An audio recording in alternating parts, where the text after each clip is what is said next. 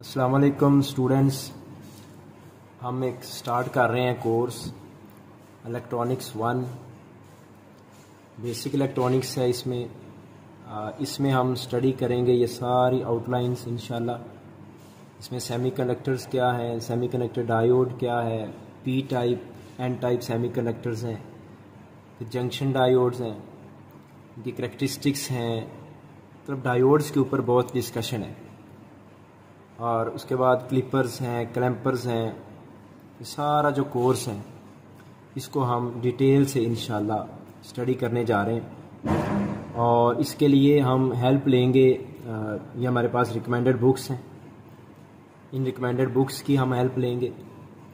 तो अभी हम स्टार्ट करते हैं बेसिक्स और उसमें हमारे पास क्वेश्चन है कि हम देखना चाहते हैं कि क्या फ़र्क होता है कंडक्टर्स इंसुलेटर्स और सेमीकंडक्टर्स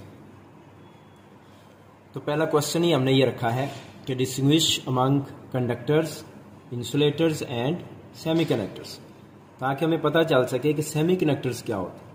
क्योंकि हमने इलेक्ट्रॉनिक्स पढ़नी है तो इलेक्ट्रॉनिक्स बेस करती है सेमीकंडक्टर्स पर। तो सेमीकंडक्टर्स को हम समझेंगे और अभी हम डिफ्रेंशिएट करते हैं कंडक्टर्स इंसुलेटर्स और सेमीकंडक्टर्स तो कंडक्टर्स जो हैं, वो क्या होते हैं?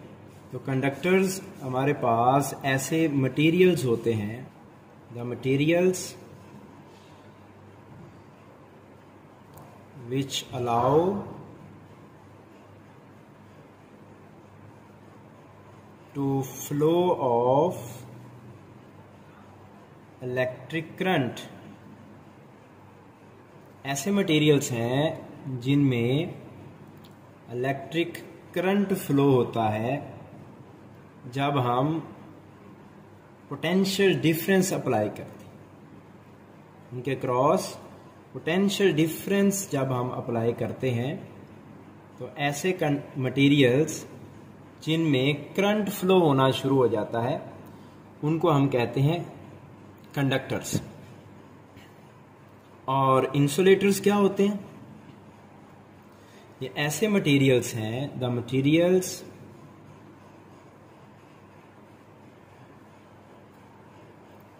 which do not allow to flow of electric current when potential difference is applied. ऐसे मटेरियल्स जिनको आप पोटेंशियल डिफरेंस अप्लाई करते हैं तो करंट फ्लो नहीं करता। उनको हम इंसुलेटर्स कहते हैं। और सेमीकंडक्टर्स क्या होते हैं? ये ऐसे मटेरियल्स हैं the materials which allow to flow of a very small current when potential difference is applied इनमें बहुत स्मॉल करंट फ्लो होता है यानी कि इनका बिहेवियर जो है वो इंसुलेटर्स और कंडक्टर्स के इन बिटवीन होता है। अगर हम इनकी एग्जाम्पल्स लिखना चाहें तो कंडक्टर्स जो हैं, इनसे हम वायर्स बनाते हैं, क्योंकि हम करंट फ्लो करवाना चाहते हैं। जैसे कापर है। कापर से हम वायर्स बनाते हैं। कापर भी बड़ा अच्छा कंडक्टर है। आयरन भी कंडक्टर है। एल्यूमिनियम कंडक्टर है। इसके अलावा गोल्ड कंडक्टर है। और सिल्वर भी कंडक्टर है। बल्कि आप ये कह सकते हैं कि ऑल द मेटल्स जितनी भी मेटल्स हैं, वो सारी ही कंडक्टर्स हैं। और अगर हम बात करें इंसुलेटर्स की तो इंसुलेटर्स जो हैं, उनकी एग्जांपल लिखना चाहें तो ग्लास शीशा जिसे हम कहते हैं तो ग्लास में करंट फ्लो नहीं करता। इंसुलेटर है। ऐसे ही हमारे पास वुड है। लकड़ी है, लकड़ी में भी करंट फ्लो नहीं करता। तो लकड़ी भी इंसुलेटर है। इसके अलावा प्लास्टिक्स है। प्लास्टिक्स जो है, वो भी इंसुलेटर है, इनमें करंट फ्लो नहीं करता। इसलिए हम वायर्स जो है, उनके ऊपर जो लेमिनेशन करते हैं, वो प्लास्टिक की करते हैं। तो प्रोटेक्शन के लिए हम प्लास्टिक की, उसके ऊपर लेमिनेशन कर देते हैं। अब जो हमारे पास सेमी कंडक्टर्स हैं उनकी एग्जाम्पल्स सिलिकॉन और जर्मीनियम है। ये दो मटेरियल्स हैं प्योर सेमीकंडक्टर्स जो हैं सिलिकॉन और जर्मीनियम बाकी हम डॉपिंग वगैरह करके मिक्स करके डिफरेंट मटेरियल्स को, हम सेमीकंडक्टर मटेरियल्स बनाते हैं। लेकिन जो प्योर सेमीकंडक्टर्स हैं ग्रुप फोर के टू एलिमेंट्स सिलिकॉन और जर्मीनियम अब हमारे पास जो कंडक्टर्स हैं, हम उनके ऊपर डिस्कशन करते हैं। कि जो कंडक्टर्स हैं, वो किस तरह के मटेरियल्स होते हैं? याद रखें, जो कंडक्टर्स हैं, ये ऐसे मटेरियल्स हैं जिनके पास large number of free electrons तो हम लिख सकते हैं large number of free electrons ये जो फ्री इलेक्ट्रॉन्स हैं, इन्हीं की वजह से करंट फ्लो होता है कंडक्टर्स में।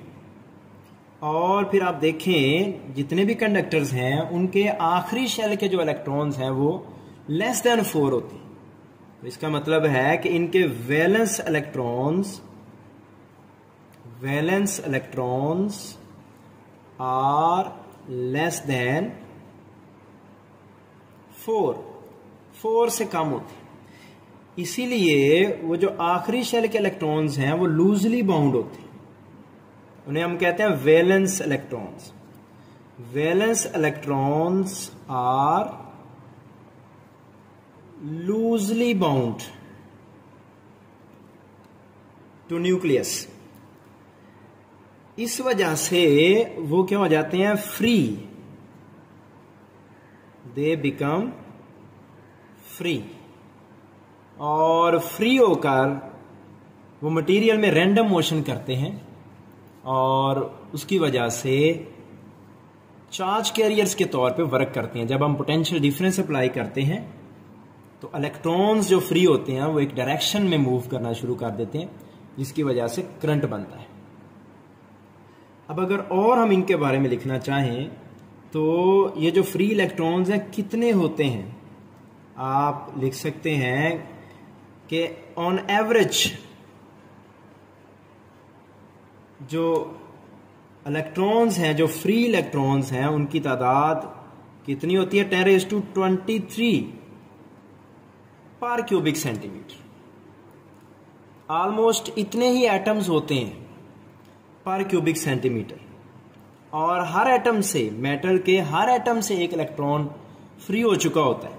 इस वजह से फ्री इलेक्ट्रॉन्स की तादाद भी तकरीबन ten raise to twenty three free electrons पर क्यूबिक सेंटीमीटर होते इसके अलावा अगर आप रजिस्टिविटी की बात करें तो जो कंडक्टर्स हैं, उनकी रजिस्टिविटी बहुत कम होती है। हम कहते हैं low values of of resistivity इनकी रजिस्टिविटी की वैल्यूज़ बहुत कम होती हैं, क्योंकि इनमें करंट बहुत इजीली फ्लो कर सकता और जो रेंज है रजिस्टिविटी की of the order of ten raise to minus eight ohm metre इस रेंज में इनकी रजिस्टिविटीज होती है। फॉर एग्ज़ाम्पल अगर आप बात करो कापर की तो resistivity of copper 1.68 cross ten raise to minus eight ohm metre होती है।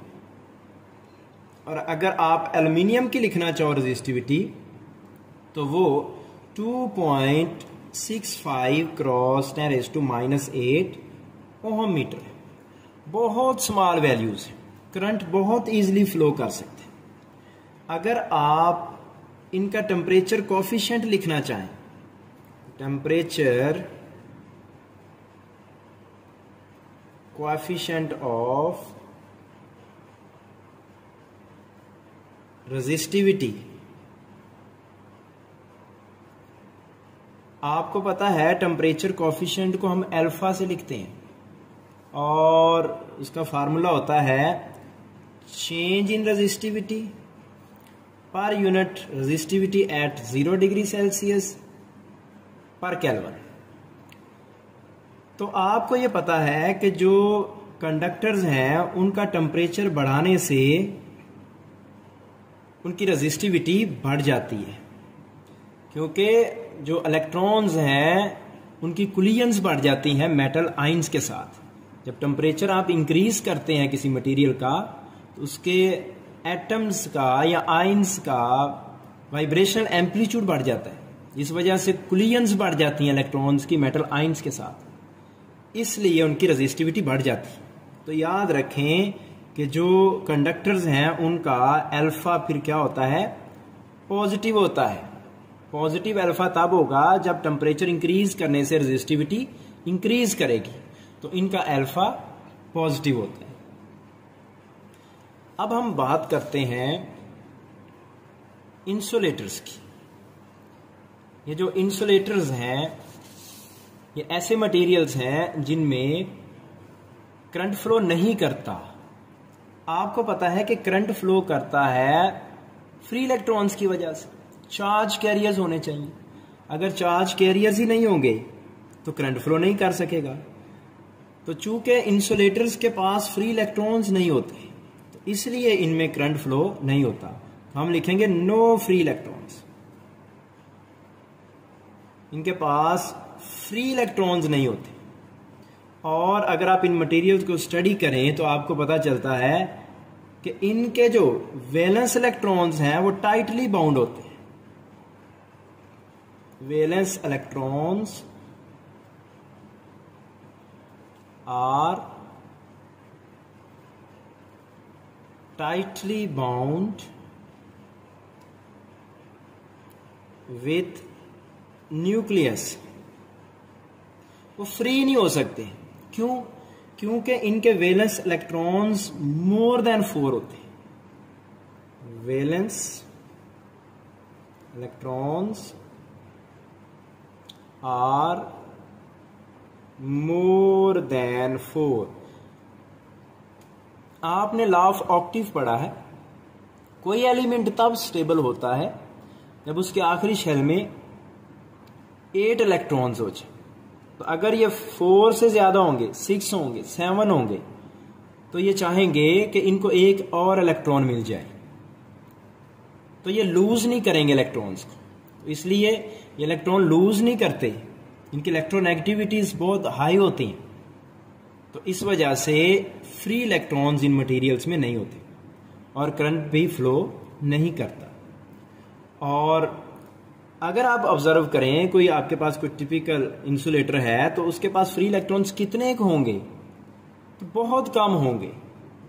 वो almost one electron one free electron per cubic centimetre possible इससे ज़्यादा नहीं होते। और चूँकि इनके पास फ्री इलेक्ट्रॉन्स नहीं है तो इनकी जो रेजिस्टिविटी है वो बहुत हाई होती है। तो हम कहते हैं कि जो इंसुलेटर्स हैं, उनकी रजिस्टिविटी हाई होती है। तो हाई वैल्यूज़ ऑफ़ रजिस्टिविटी और कितनी एक होती है? उसकी अगर आप रेंज की बात करें, उसका जो ऑर्डर है वो ten raise to eleven ohm metre से ten raise to sixteen ohm metre में होते हैं। आप देख रहे हैं कंडक्टर्स की जो रजिस्टिविटी थी, वो बहुत स्मॉल थी। Ten raise to minus eight की रेंज में थी। जबकि इंसुलेटर्स की रजिस्टिविटी बहुत हाई होती फॉर एग्ज़ाम्पल ग्लास ग्लास की जो रजिस्टिविटी है वो 9.0 cross ten raise to eleven ohm metre बहुत हाई वैल्यू है। इसलिए ग्लास जो है वो कंडक्टर नहीं है। पुअर कंडक्टर ऑफ़ इलेक्ट्रिसिटी उसको हम कहते हैं ये इंसुलेटर और अगर आप इनके टेम्परेचर कॉफिशेंट की बात करें तो चूँकि टेम्परेचर चेंज करने से इनकी कंडक्टिविटी पे फ़र्क नहीं पड़ना तो इसलिए हम कहते हैं कि हम इसके टेम्परेचर कॉफिशेंट को डिस्कस नहीं करते लो टेम्परेचर पर। हम कहते हैं they have no temperature coefficient answer zero आएगा टेम्परेचर कॉफिशेंट का, क्योंकि रेजिस्टिविटी चेंज नहीं होगी। Temperature coefficient of resistivity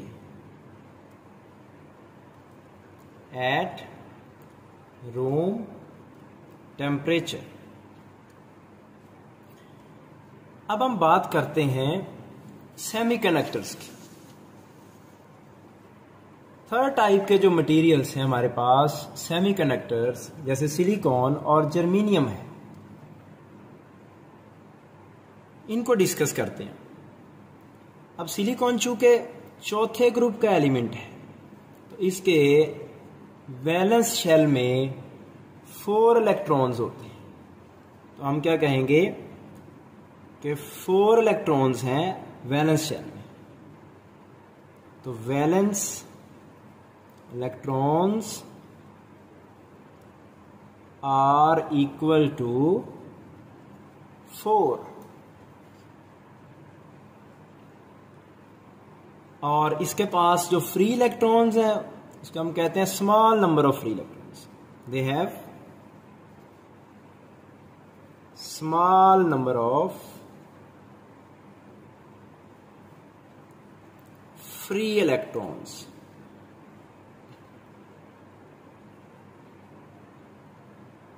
और वैलेंस इलेक्ट्रॉन्स जो हैं, वो फोर और इलेक्ट्रॉन्स की तादाद बहुत कम होती है, इस वजह से कम करंट फ्लो होते हैं। और इनमें चार्ज कैरियर्स होते कौन है? सेमी कंडक्टर्स में हम सीखेंगे कि इनमें charge carriers are free electrons and holes हम ये सीखेंगे कि फ्री इलेक्ट्रॉन्स और होल्स की वजह से सेमीकंडक्टर्स में करंट फ्लो होता है। और अगर आप बात करें कितने एक फ्री इलेक्ट्रॉन्स होते हैं तो एक टिपिकल सेमीकंडक्टर में ten raise to thirteen free electrons per cubic centimetre मौजूद होते हैं। Per cubic centimetre ten raise to thirteen free electrons मौजूद होते हैं। और अगर आप इनकी रजिस्टिविटी देखना चाहें तो रजिस्टिविटी इनकी कंडक्टर्स और इंसुलेटर्स के इन बिटवीन लाई करेगी। यानी कि इंसुलेटर से इनकी रजिस्टिविटी कम होगी और कंडक्टर से ज़्यादा होगी। तो हम कहते हैं they have intermediate values of resistivity intermediate values हैं। कि रजिस्टिविटी कंडक्टर से ज़्यादा है और इंसुलेटर से कम है। और अगर हम उसकी रेंज की बात करें तो उसकी रेंज होती है 0.5 ohm metre to ten raise to four ohm metre. इस रेंज में इनकी रजिस्टिविटीज होती है। और अगर आप सिलिकॉन की रजिस्टिविटी लिखना चाहें तो सिलिकॉन की resistivity 3.0 cross ten raise to three ohm metre होती है। और जर्मीनियम की रजिस्टिविटी 0.6 ओहम मीटर होती है। और फिर ये जो सेमीकंडक्टर्स हैं, इनकी कंडक्टिविटीज को आप बढ़ा भी सकते हैं। क्योंकि कम करंट फ्लो होता है, आप चाहते हैं ज़्यादा करंट फ्लो माइक्रो एम्पेयर से बढ़ के मिली एम्पेयर की रेंज में करंट फ्लो हो तो आप उस टेम्परेचर को चेंज करके या फिर डोपिंग करके उनकी कंडक्टिविटीज को आप चेंज कर सकते हैं। तो कंडक्टिविटीज जो है,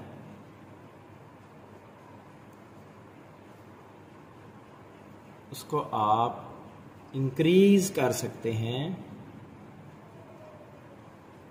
बाय डोपिंग आप डोपिंग कर लो, इसको हम सीखेंगे डॉपिंग को।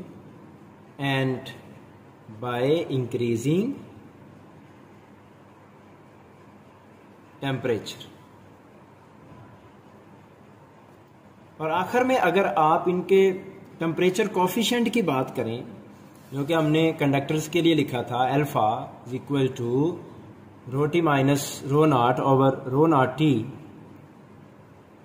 अब चूँकि टेम्परेचर इंक्रीज करने से इनकी रजिस्टिविटी ने कम होना है इनकी resistivity inversely proportional to temperature है। ये हम सीखेंगे किस वजह से रजिस्टिविटी कम हो जाती है टेम्परेचर इंक्रीज करने से। इस वजह से इनका जो अल्फ़ा होता है, वो नेगेटिव होता है। अल्फ़ा का आंसर नेगेटिव तब आता है जब टेम्परेचर इंक्रीज करें और रजिस्टिविटी डिक्रीज कर जाए। तो स्टूडेंट्स ये था आज का लेक्चर इसमें हमने सीखा है कि जो हमारे पास कंडक्टर्स हैं इंसुलेटर्स हैं और सेमी कंडक्टर्स हैं, इनमें क्या डिफरेंस है? नेक्स्ट हम इनशाला सेमी कंडक्टर्स पे ही डिस्कशन करेंगे, क्योंकि इलेक्ट्रॉनिक्स में हम सेमी कंडक्टर्स को स्टडी करते हैं। तो इससे आगे इनशाला चलेंगे। अल्लाह हाफिज़।